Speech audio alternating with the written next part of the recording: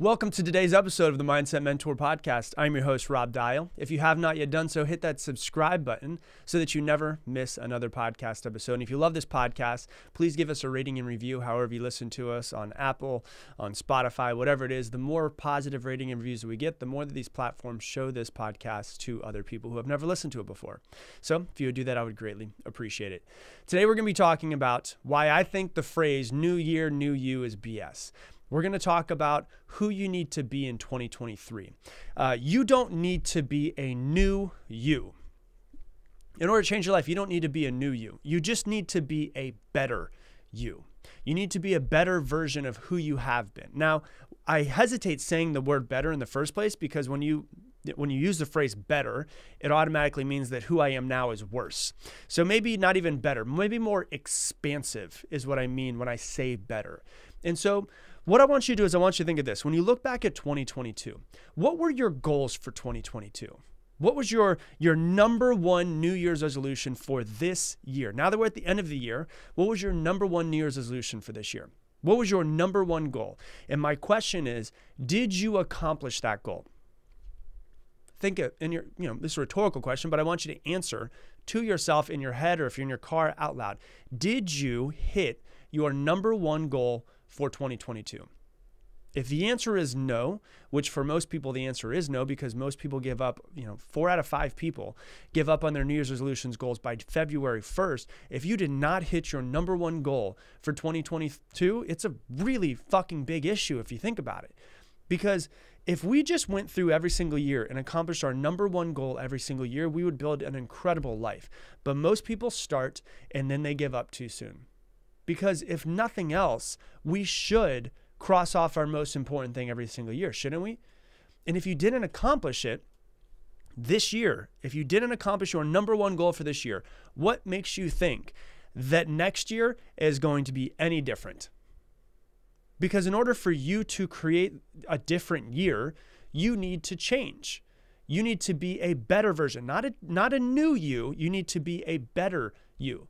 You need to change. There's something inside of you physically as a person, mind, body, soul that needs to shift in order to create the life that you want to. You can't expect 2023 to be any better or any different than 2022 unless you're different. You know, Einstein says, and you've heard me say it before, you probably heard other people say it before. Einstein says to do the same thing over and over again and expect different results is the definition of insanity. And so if you're going into 2023 exactly the same way that you went into 2022 and you didn't hit your 2022 goals, what makes you think that you're going to hit your 2023 goals? Because listen, there's a pretty good chance that 2023 is going to be hard for a lot of people. And I don't want to scare you, but I want to prep you to make sure that you create the best year that you can. There's inflation, there's recession, there's housing bubbles that might be popping. I don't know what's going to happen. I can't predict the future, but these are all potential things that could happen in 2023, right? We can all agree on that. The inflation that's happening, the recession that we're going through, the housing bubble that could pop, all of these are potential things that could happen.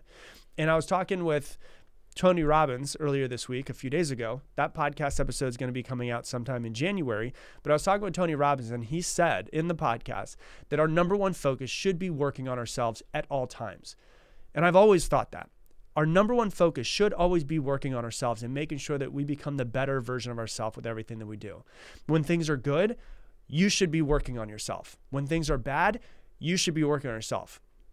There should be no difference. Actually, maybe there is a little bit of a difference. That difference should be you should work on yourself harder when things are bad. Because when you build yourself every single day, when it's bad or when it's quote unquote hard, it's not that bad for you. You can, you have built yourself into the person that can handle it. And so the way I like to think about it is and as I was preparing this episode, I started thinking about like okay, there's always storms in life, right? And there's always storms in the world. I grew up in Florida, and Florida gets hit by hurricanes all of the time. And I've seen crazy things that have happened after a hurricane. I've seen houses destroyed. I've seen house I've seen parts of houses in trees 30 feet up in the air in the middle of the interstate. Like like 30 feet up on top of a tree in the middle of the the uh, the median. I've seen crazy things happen. I've seen houses destroyed, all of these things because a hurricane came through and knocked them all over, right? Now, houses today are made with wooden frames, and that's why they you know, when a hurricane hits them, they usually fall over. Now, if you look at that, you could also go to St. Augustine. St. Augustine has a fort that was built in the 1600s, and it's a fort. Know, that's why I say it's built like a fort. A fort. Like I'm talking about, this thing was built in the 1600s, and I don't think any hurricane can knock this thing over. It was built with more intention and with more of the right materials than a house is in 2022. A hurricane comes, and if you're in a hurricane and you have the option to be in a wooden frame house or a fort from the 1600s, which one would you want to be in? You'd want to be in a fort from the 1600s, right? Because it is built properly. It takes a lot longer to build a fort made out of concrete stone that was done by hand than it does for a wooden frame house, but it was built correctly. That's what we need to think about for ourselves. When we have a storm of life coming through, which 2023 could be a storm for a lot of people, we need to make sure that we are prepared and we build ourselves into being the right person because we don't know what the future is going to be. I don't know what the future is going to be, but I do want to make sure that no matter what, I'm building myself all of the time to be that person. So at some point in time, you've got to look in the mirror and you've got to say, like, okay, this life that I have, is this what I want? Am I showing up the way that I want to? Am I accomplishing my goals? Am I treating people the way that I want to? Am I am I ending up, you know, accomplishing these 2022 New Year's resolutions? Well, if I'm not, what's going to make everything different next year? You've got to look at yourself in the mirror. And if you look at what your life is, and maybe your life is okay, maybe it's not. I don't know where your life is. But at some point, you got to be like, I'm done with this. I'm done with this life. I'm done with not living up to my potential. I'm done with not stepping up and becoming the person that I know I can be. And it's got to start for you. And that's why January can be so good for so many people, is because it is it feels like a fresh start. You get past all of the the the Christmas and you get past the holidays and you get past the New Year's and you're like, okay, I don't have things for a little while. I can actually start to work on myself. And it's got to start in January. You've got to figure out what it is that you want. And when you figure out what it is that you want, make a plan to get it. And then do not give up because you've done that too many times. You have given up on yourself way too many times. How different would your life be? I keep asking this question, people. How different would your life be if you didn't give up so many times?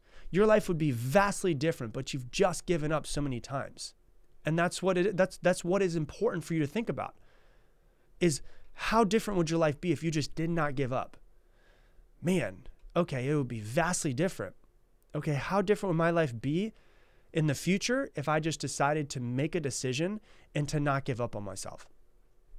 And that's what I want you to think about. What are you going to do? And this is what I want to leave you with today is what are you going to do to make sure that next year is different for you than it was this year, and the year before, and the year before, and the year before that? What are you going to do to make the year different?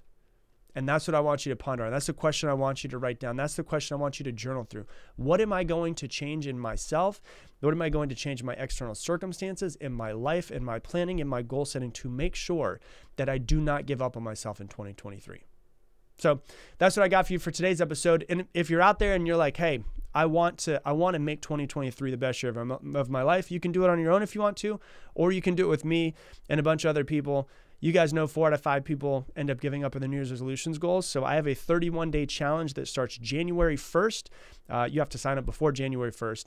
And so there's going to be seven simple but really, really powerful habits that we've got to hit every single day. So if your goal is to lose weight or to get into a, the relationship that you want to, or to get a new job, or to start a business, or to get your money right, uh, it's designed to strengthen your your mind, your body, your soul everything. And I'm going to be assisting you. I'm going to have daily live lessons. You can ask me questions in those daily live lessons. We're going to have guided meditations. We're going to have daily journaling questions.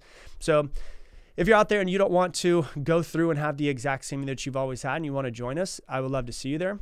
You know, you could go through and you could do it on your own if you want to, or you can do it with a group of hundreds and hundreds of people who are going to be going on the exact same path. So, once again, uh, if you want to learn more about it, it is a 31 day challenge starting January 1st. It's the entire year of, or, I'm sorry, entire month of January. Uh, you can go to limitless31.com to learn more. Once again, limitless31.com. And uh, there's more information, there's a video there. And for those of you guys that sign up before Christmas, so if you listen to this before Christmas, you'll actually get $50 off for getting the early bird special. Um, but you want to make sure you sign up before Christmas. So once again, it is limitless31.com. We've done this with thousands and thousands of people, so I'm excited to do it with you this year. And uh, we're gonna have seven specific habits that you got to have every single day to build habits into yourself. We have the once I like I said the guided meditations. We have the daily journaling sessions. We have the daily live lessons. I'm going to be doing them every single day with you guys. So, uh, would love to see your faces there. Um, so, if you're interested, join us. And with that, I'm going to leave you the same way I leave you every single episode. Make it your mission to make someone else's day better. I appreciate you, and I hope that you have an amazing day.